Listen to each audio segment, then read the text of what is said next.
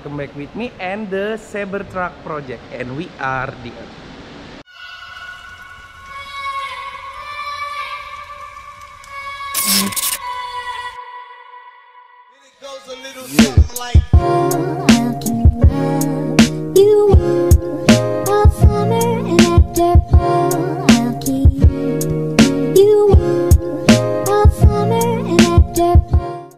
Oke guys, jadi hari ini gua sempat sempetin nih ke tempat karoseri Koko Bos lagi uh, sampai akhirnya nih gua diajak ada sedikitnya tandem project guys, alias collapse project yang kita kerjain secara tim Saber atau konsep dengan Sparta Karoseri guys. Oke, mungkin buat kalian yang kemarin-kemarin sempat nungguin tuh masalah vlog di truk nih gue lanjut kenapa agak sedikit delay karena kita di sini juga sedang mengurusi untuk kolaps kita ini dan gue langsung bocorin ke kalian.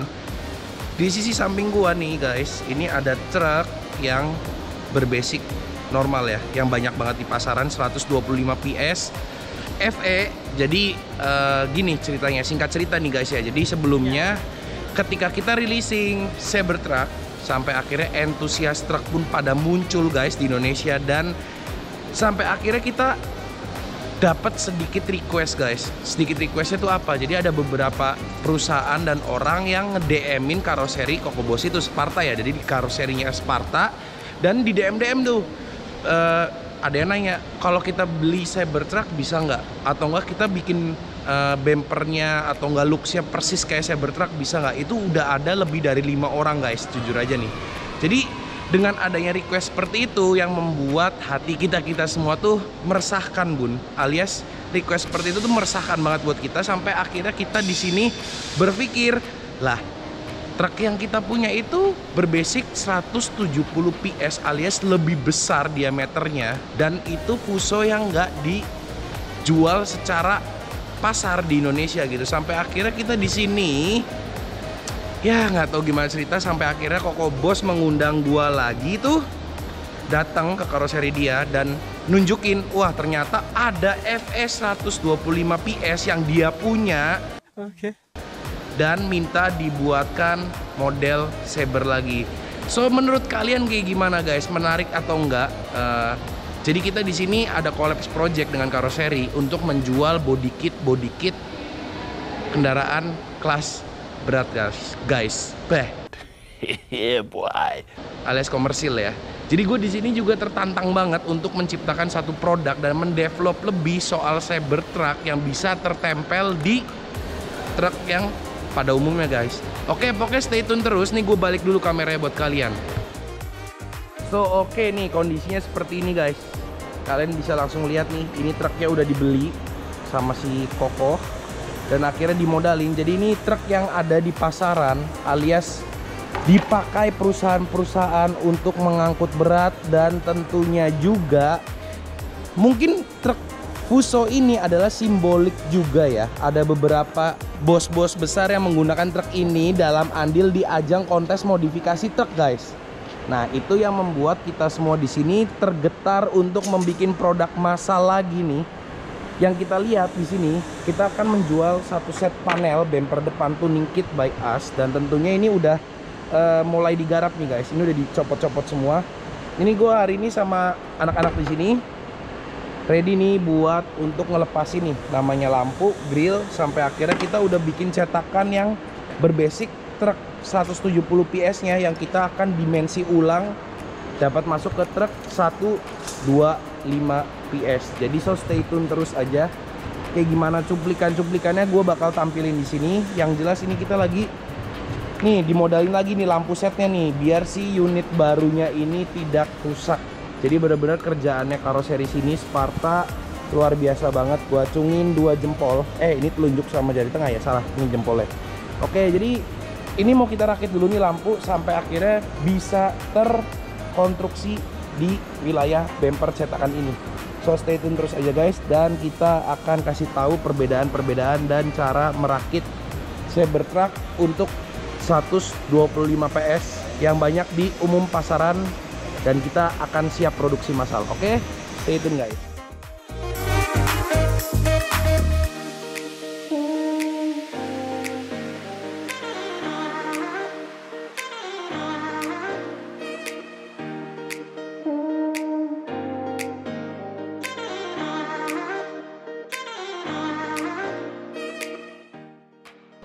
Oke guys, ternyata ada kendala guys. Kendalanya apa?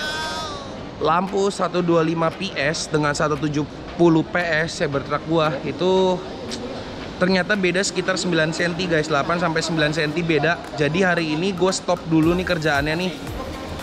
Gue pengen coba untuk memotong dulu cetakan si bodinya. Gue bagi jadi tiga dulu agar bisa terpasang ke wilayah sininya guys dan itu mungkin agak sedikit memakan waktu. Ditambah lagi dengan konstruksi lampu yang beda banget ternyata lebarnya. Jadi gue stop dulu kerjaan hari ini. Mungkin di next vlognya gue bakal kasih tahu lagi karena nggak cuman ini doang. Gue kasih tunjuk proses membuat body kit masalah ala kita di sini. So stay tune terus. Dan berhubung dari tadi gue udah ngoceh-ngoceh nih gue muter-muter di wilayah karoseri ini yang gede banget gue nggak bisa nemuin mobil gue alias si Cybertruck itu gue bingung ada di mana.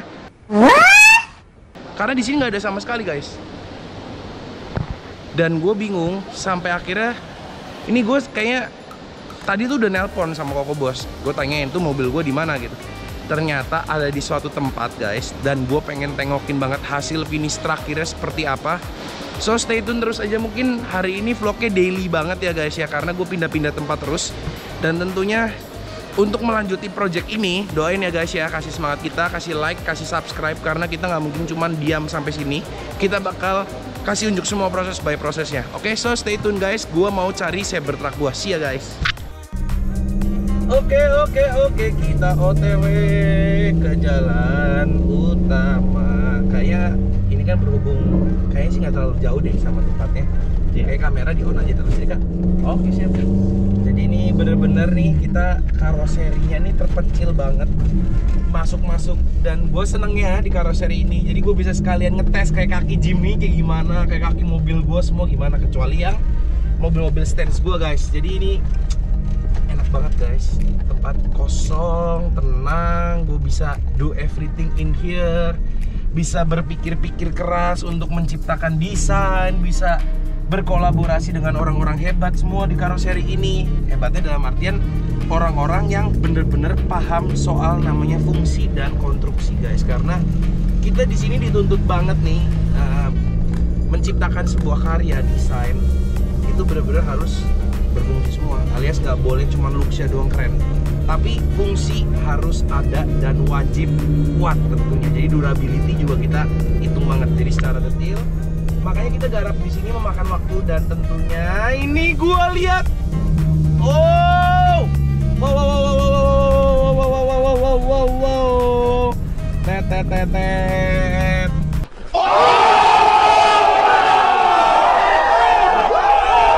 Oke, udah balik lagi sama gua. Ternyata si Koko Bos naro mobil ya mendisplay di salah satu dealer Mitsubishi di Cirebon, guys.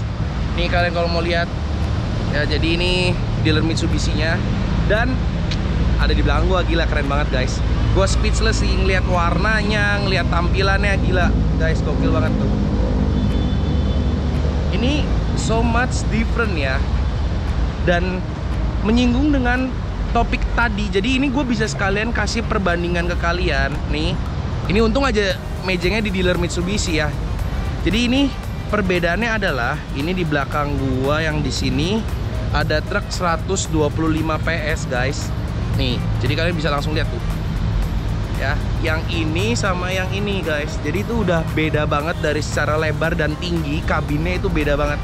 Jadi untuk membuat dan memasuki si bumper Cybertruck yang kemarin ada request tuh itu gimana caranya? Gue juga masih underdevelop nih sama karoseri Sparta ya. Jadi mudah-mudahan ke depannya gue juga bisa menjual produk massal bareng-bareng sama karoseri Sparta.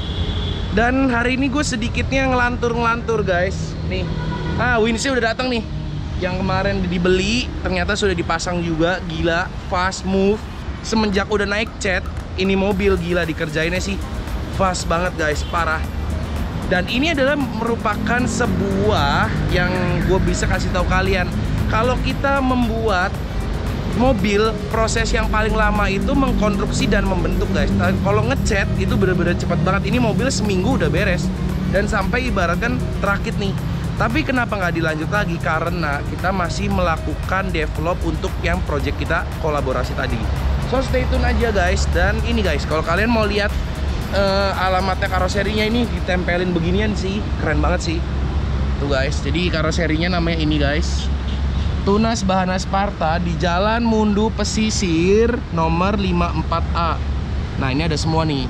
Dan tentunya link Instagramnya juga ada guys ya. Jadi gini konstruksinya dari secara depan kayak tadi ini dari belakang guys. Jadi ini gede banget towingnya gokil. Gue suka banget ini gede banget. Dan gue bisa langsung membayangkan berhubung tuh guys di atas sini ada yang 125 PS dan tentunya guys itu tinggal kayak enteng banget tinggal kita naikin aja di truk yang 170 PS alias Cybertruck gua. Jadi bener-bener target gua udah achieve banget hari ini.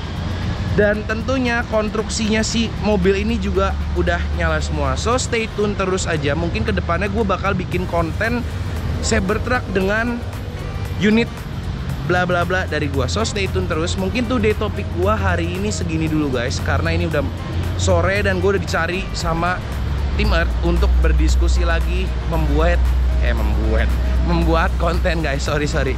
Oke dan gue jangan lupa ya. Gue ingetin kalian nggak lupa nih gue nih. Kita punya 7 Instagram linknya ada di sini guys. Ya tentunya kalian boleh add semua Instagram kita dan tentunya kita bakal kasih kejutan-kejutan lain lagi di vlog kita ini. So stay tune aja. Thank you for watching and be the best. On it guys. See ya